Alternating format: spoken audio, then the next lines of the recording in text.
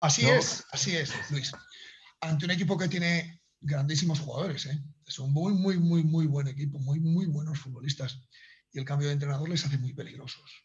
Tenemos que ir allí, como hemos ido estos días, como estamos estos días con esta confianza, siendo así de consistentes. Pero es un equipo con mucho poderío en ataque, un equipo, cuidado, ¿eh? cuidado que Lucas, José Lu, Rioja, Edgar, eh, eh, J, cuidado, eh, cuidado, cuidado, que hay mucho potencial ahí arriba. Y con este cambio de entrenador, pues eso se vuelve y que toda la información que tienes anterior te vale para las condiciones de jugadores, pero no para el modelo y para, el ajuste de todo lo que te gustaría. Entonces, el que haya un entrenador nuevo también genera incertidumbre. Gracias. Vamos con Alex Castresana, Aragón Deporte. Hola, Alex. Hola, buenas, mister. ¿Cambian algo las cosas el estar después de tantas jornadas fuera del descenso? ¿Motiva? Eh, ¿Da un poco de yuyu porque se ha conseguido y ahora es miedo a perderlo? No sé cómo lo, cómo lo ves. Gracias. Pues, Alex, esta, es eh, las posibilidades que pueden pasar, ¿no? Después de estar tanto tiempo sufriendo y tanto tiempo eh, en esa situación de descenso o de ir el último, yo la sensación que tengo y lo que veo en los entrenamientos es de ilusión, es de más concentración, es de seguir evolucionando. Podrían pasar que te creas lo que no eres y eso generalmente te mete en, una, en las orejas, pero rápido. ¿eh? El fútbol suele ser muy cruel cuando te crees algo que no eres. Y esto eh, no he detectado este problema sí detecto un compromiso brutal de, este, de esta plantilla, de este, de este grupo de trabajo. Veo mucho compromiso y eso a mí me, me, emociona, me, me, gusta. Y ese es el camino. Al final te puede generar algo que no eres y te lo genera, el fútbol suele ser muy cruel. Entonces, yo veo al equipo bien. Creo que estamos en esa, en esa evolución y creo que estamos adquiriendo y ganando mucha confianza en muchos aspectos del juego. Hemos ganado una solidez que estamos concediendo muy poco ante equipos que siempre han hecho daño a los rivales. El Elche y Levante, los dos últimos nuestros, esos equipos siempre han hecho mucho daño a los rivales. Y nosotros, aunque no hemos tenido el control del balón, lo más importante en el fútbol es tener el control del partido. Y creo que hemos tenido el partido controlado, aunque no hemos tenido el control del balón es mucho mejor tener el control del partido a través del balón, porque eso te genera todavía más confianza. Pero nosotros hemos ganado confianza eh, siendo sólidos. Y esto es lo que, tenemos que, lo que nos tiene que reforzar. Mafeo, Ontiveros, Gastón están evolucionando muy, muy, muy, muy bien. Muy bien, están evolucionando bien. Es probable que alguno tengamos que se vaya incorporando al grupo la semana que viene, que se vayan incorporando, que estén para competir luego ya es otra cosa, ¿vale? Pero la evolución de los tres está siendo muy positiva. Y la otra, otra pregunta, que yo además la hago público, eh, consultándolo con el club, por supuesto, me enorgullece de manera inimaginable. A mí se me ofrece renovar yendo último. ¿Por qué creo que no es el momento estando feliz y estando contento como estoy? Porque nadie me asegura que se vaya a cerrar muy deprisa. Las negociaciones se alargan mucho. Hay muchas cosas de las que hablar muchas cosas de las que llegaron a acuerdo. Muchas. Si tiempo, si tema económico, si ayudantes, cuáles son mis funciones, hacia dónde. Hay muchas cosas de las que hablar. Si no se llega a un acuerdo, todo parece que se deteriora, porque eh, te puedes llegar a acuerdos o no. Estamos los dos en condiciones. El mister está feliz aquí. Pero todas estas negociaciones hacen que yo, como profesional, no descanse bien me desvía mi atención, me desvía mi concentración del único objetivo que tenemos, que es el mantenimiento del en primera división. Una vez que se consiga este entrenador con el primer equipo con el que va a hablar y se va a sentar, es con la Sociedad Deportiva Huesca. No va a firmar con ningún club sin que lo sepa la Sociedad Deportiva Huesca. No voy a hablar con nadie. Con nadie hasta que hable con la Sociedad Deportiva Huesca. Eso que lo tenga todo el mundo muy claro. Y esta misma situación se dio en Elche el primer año que estábamos en segunda. Y cuando llegó el momento, el mister renovó, se habló, se, estuvo trabajando durante la renovación y se llegó a un acuerdo. El mister está feliz aquí.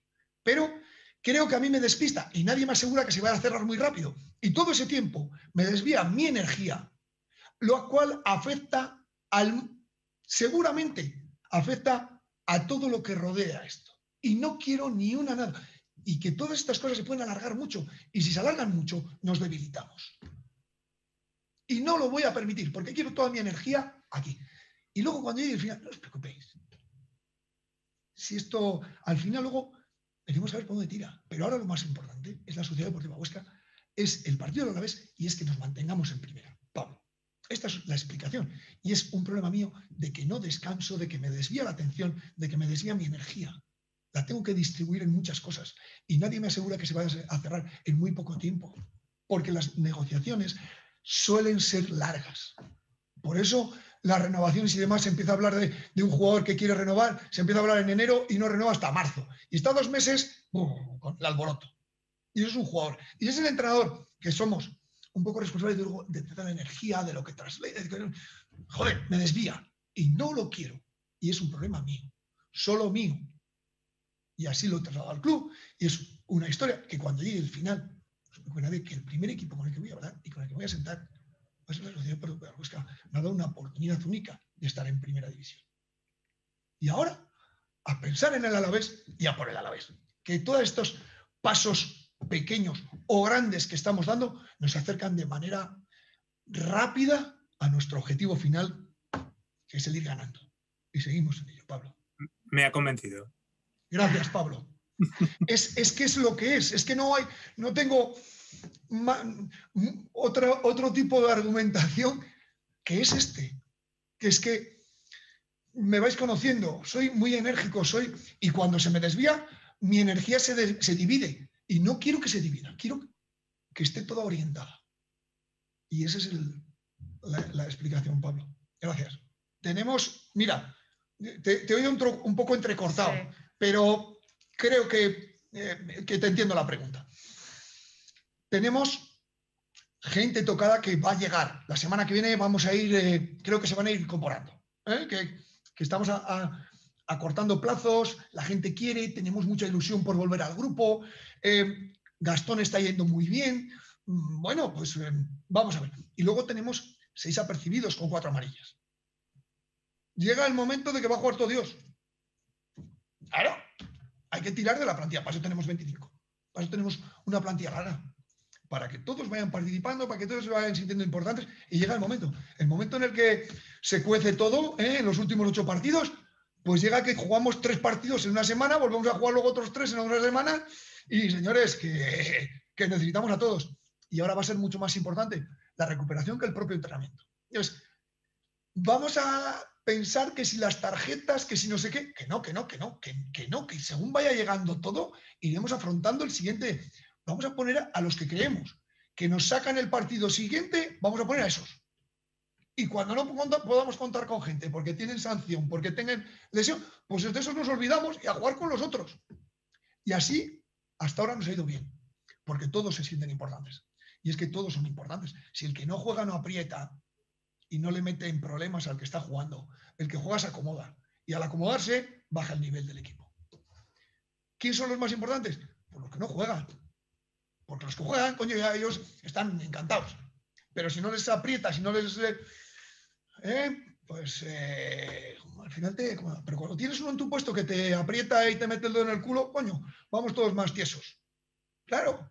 Entonces, eh, a seguir empujando. Y esto es, creo que una gran virtud que tenemos en el vestuario. Esto creo que es una gran virtud. Entrenamos, entrena todo el mundo de manera que hay que agradecerlo.